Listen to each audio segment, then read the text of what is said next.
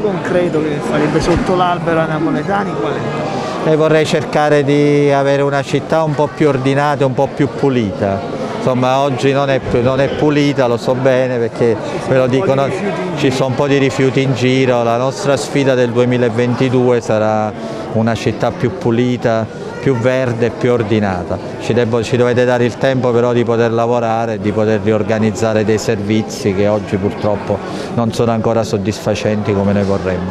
Obiettivo temporale per questa pulizia?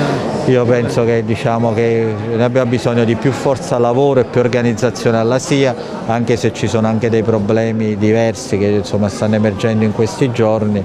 Io spero che nel giro di poche settimane riusciremo ad avere i primi segnali positivi. Quali problemi? No, nel senso che ci sono un po' dei conflitti sindacali, dei problemi interni che, che non consentono poi di avere un pieno espletamento del servizio.